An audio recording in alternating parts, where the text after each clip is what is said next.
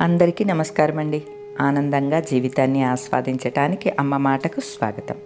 రేపు సోమవారం సంకటహర చతుర్థి అండి. అంటే ఇరవై ఒకటవ తారీఖున ఈ నెల సంకటహర చతుర్థి వచ్చింది. అంటే ఉదయమే రాలేదండి. కాబట్టి సాయంత్రం పూజ చేసుకునే వాళ్ళు రేపు అంటే సోమవారం నాడు సంకటహర చతుర్థి గణేశుడికి పూజ చేసుకోవచ్చు. ఉదయం పూజ వీలవుద్ది మాకు అనుకుంటే మంగళవారం ఉదయం చేసుకోండి. అంటే చవితి ఆ గడియల్లో ఉన్నదనమాట అండి. అంటే మీకు అర్థమై ఉంటుంది. రేపు ఎనిమిదింటి నుంచి మంగళవారం ఎనిమిదింటి లోపు మీరు ఎప్పుడైనా చేసుకోవచ్చు. సంకటహర చతుర్థికి ముడుపు కట్టుకునే వాళ్ళు కట్టుకోవచ్చు. ఆల్రెడీ ముడుపు కట్టుకున్న వాళ్ళు గణేశుడికి దీపారాధన చేసుకోవచ్చు. ముడుపు కట్టుకున్న తర్వాత మా కోరిక సఫలీకృతం అయ్యింది. ప్రసాదం చేద్దాం అనుకునే వాళ్ళు చక్కగా కుడుములో పరమాణమో ఏదో ఒకటి వండి పంచిపెట్టొచ్చు. ఇలా అనమాట అంటే మన ఫ్యామిలీలో అడుగుతున్నారు కదా ముందు రోజే తెలియచేయండి అని. అందుకనే ఈ రోజే చెప్తున్నాను అనమాట అండి. రేపు సంకటహార చతుర్థి. మనకి బలీయమైన కోరికలు. లేదా ఎంతకీ అవ్వని పనులకి మనం స్వామికి ముడుపు కట్టుకుంటాం కదండి. ఆ ముడుపు కట్టి పక్కన పెట్టుకుని ప్రతి నెల స్వామికి దీపారాధన చేస్తాము. అది సంకటహర చతుర్థి పూజ. అది ఈ నెల రేపు. మీ అందరికీ ఆ విషయాన్ని తెలియచేయటం కోసం నేను చెప్పి రెండు మొక్కలు చెప్పేస్తున్నాను అనమాట అండి.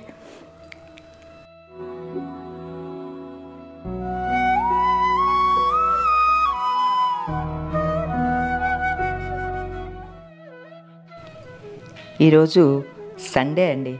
సండే ఎవరికైనా ఖాళీగా ఉంటుంది అని అనుకుంటారు. నేను మాత్రం బోల్డ్ అన్ని పనులు పెట్టేసుకున్నానండి. బట్టలు ప్రతిరోజు వెయ్యనండి మిషన్లో. ఎందుకంటే రోజు వేసేన్ని ఉండవు బట్టలు. సరే ఉన్నప్పుడే మిషన్లో బట్టలు వేస్తూ ఉంటాను. అలానే చీరలు కూడా ఒకేసారి నానబెట్టేస్తూ ఉంటా. వరం జాడించేస్తుందిలేండి. నేను ఈ బట్టల్ని ఉతికేటప్పుడు మిషన్లో వాడటానికి ఒక లిక్విడ్ సోపు ఇది వాడుతూ ఉంటానండి. లిక్విడ్ సర్ఫ్ అనమాట ఈ డబ్బాలు నాకు చాలా ఇష్టం అండి ఎప్పటి నుంచో వాడుతున్నాను. ఆ డబ్బాలన్నీ బోల్డ్ అన్ని ఉంచాను అనమాట వీటిని ఎయ్యో ఒకటి చేయటం కోసం అని చెప్పి అవి అలా దాచి ఉంచాను అనమాట అండి.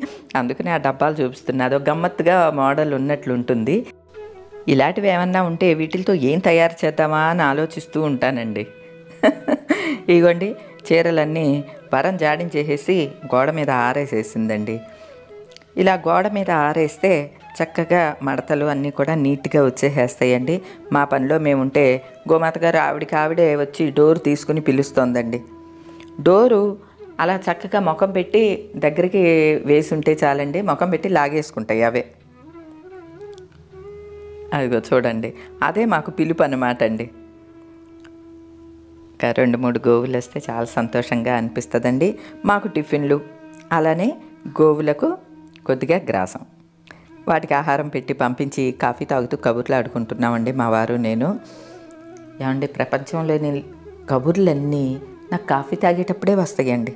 ఉదయమే కబుర్లు ఆడుకుంటూ కూర్చుంటాం చూడండి. అప్పుడు చూడాలండి ప్రపంచ విషయాలన్నీ కూడా వస్తాయి. సాధారణంగా నాకు డే అంతా చాలా బిజీ అయిపోయింది. కానీ మార్నింగ్లో ఏదో ఒక టైం మాత్రం మా వారు నేను కూర్చుని గంటల తరబడి కబుర్లు ఆడుకోవటం అలవాటండి. అలానే ఈరోజు కబుర్లు ఆడుకుంటూ కూర్చున్నాం. ఈరోజు సండే కదండి. కొద్దిగా ఇళ్ళ వెంట ఏమన్నా రొయ్యలు చేపలు ఇటువంటివన్నీ వస్తూ ఉంటాయి. వీటిల్ని నెత్తళ్ళు అంటారండి. నెత్తళ్ళు అంటారు. ఈ చేపలు ఆరోగ్యానికి చాలా మంచిదనమాట ఇవి తింటే వీటిల్ని నెత్తళ్ళు లేదా మెత్తళ్ళు అని కూడా అంటారు. దీనిలో ముళ్ళు కూడా ఒక్కటే ఉంటుందండి. అసలు ముళ్ళు పళ్ళాన కూడా తినేయచ్చు. మెత్తగా ఉంటుంది ముళ్ళు కూడా. చాలామంది ముళ్ళుతో సహా తినేసేస్తారు. చేపలు తెచ్చినప్పుడు మా ఇంటి దగ్గర ఒక కేక వేసి వెళ్తారనమాట అండి అమ్మ నెత్తళ్ళు వచ్చి నీ తీసుకుంటారా? అని చెప్పి. సరే ఈరోజు నెత్తళ్ళ కూర వండుదామని అని చెప్పి తీసుకున్నానండి. ఆ పెట్టిని ఎంత అనుకుంటున్నారు? ఆ పళ్ళెంలో ఈ యాభై రూపాయలు ఇవ్వండి యాభై రూపాయలకి ఇన్ని మెత్తళ్ళు పెట్టారు. ఈ చేపలు ఒక యాభై రూపాయలు తీసుకుంటే సరిపోతుందండి. ఇవి ఇగురు వండుతారు లేకపోతే ఫ్రై కూడా చేస్తారండి. డీప్ ఫ్రై అంటే పకోడీలాగా చేస్తారు. ఇప్పుడంతా ఫంక్షన్స్లో భోజనాల్లో మెత్తళ్ళు ఫ్రై అని చెప్పి ఈ- చేపల్ని బాగా విశేషంగా మా సైడ్ పెడుతూ ఉన్నారండి. బాగుంటాయి టేస్ట్ బాగుంటుంది ఆరోగ్యానికి కూడా మంచిది. ఇది ఒమేగా ఫ్యాటీ త్రీ అంటారు కదా ఒమేగా త్రీ ఉంటుందన్నమాట ఈ చేపల్లో ఎక్కువగా. అందుకని ఈ చేపలు మంచివి తింటే అని అంటారు. అదిగోండి చేపల్ని చేసేసి కూడా ఇచ్చేస్తారు మాకు. ఎందుకంటే తలా తోక కట్ చేసి సన్న ఇవి ఉంటాయి పైన చేపకి పైన పులుసులు ఉంటాయి కదా అవన్నీ తీసేసి ఇచ్చేసేస్తారనమాట అండి. వాటిని మనం శుభ్రంగా వాష్ చేసేసుకొని కూర వండేసుకోవటమే. ఇంకో యాభై రూపాయలు పెట్టించుకోండి అని అంటుంది. అక్కర్లేదమ్మా ఒక్క పూటే తింటాము సరిపోతాయి మాకు అని చెప్తే మళ్ళీ వేసేసుకుందండి.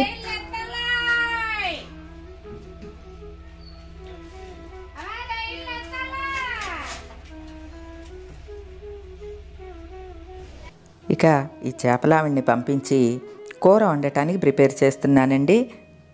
శుభ్రంగా ఆ చేపల్ని కడిగేసి ఉప్పు కారం పసుపు వేసి పక్కన పెట్టుకుంటే వీటికి ఇంకేం అక్కర్లేదండి. ఆల్ మసాలా ఎలానో ఉంటుంది. ఒక రెండు ఉల్లిపాయల్ని గ్రైండ్ చేసేస్తాను. అంటే మరీ మెత్తని పేస్ట్ కాదనుకోండి. కొంచెం కచ్చపచ్చగా ఉండేలాగా గ్రైండ్ చేసుకుంటే నాకు ఆ ఆల్ మసాలా ఎలానో ఉంటుంది. ఈ మసాలా పేస్ట్ ఎలా చేసుకోవాలో కూడా నేను ఆల్రెడీ వీడియో చేసి పెట్టానండి. ఆ మసాలాలో ఏముండవు. అల్లం వెల్లుల్లి చెక్క ధనియాలు లవంగం యాలుక కలిపిన పేస్ట్ అనమాట అది ఇగుర్లన్నిటికీ సూట్ అయిపోతుందండి. ఈ యాభై రూపాయల చేపలకి రెండే రెండు ఉల్లిపాయలు పేస్ట్. అంతే అండి సరిపోతుంది. కొద్దిగా ఆయిల్ ఎక్కువే వేసుకోవచ్చు. ఏమవదు మేము ఆయిల్ విషయంలో కూడా జాగ్రత్తగా ఉంటాము. మొన్న ఎవరో అడుగుతున్నారు నురుగు వస్తోంది ఏం ఆయిల్ అండి మీరు వాడేది? అని.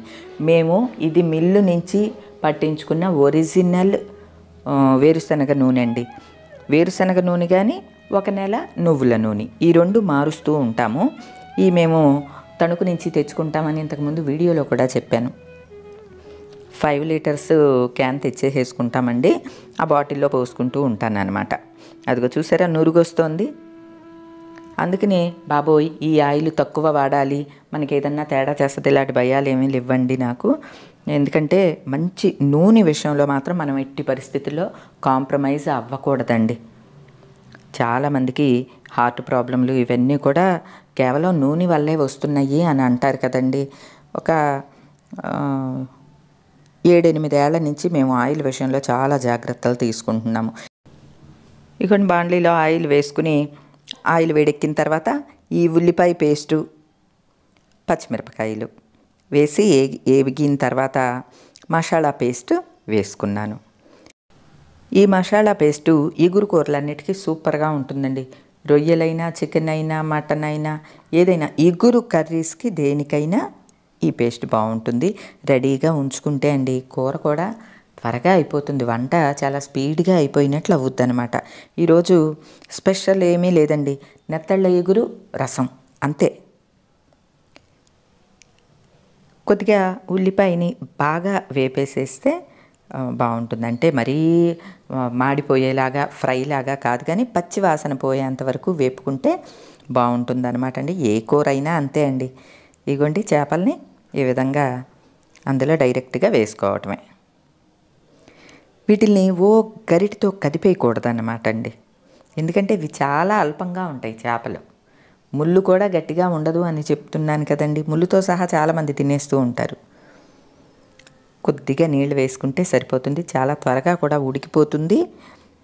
జస్ట్ మనం దగ్గరికి అయ్యేంత వరకు ఉంచితే చాలు. అందుకనే ఉల్లిపాయ పేస్ట్ని మరి కొద్దిగా ఏపండి అని చెప్పాను అనమాట ఏపుకోవాలి అని.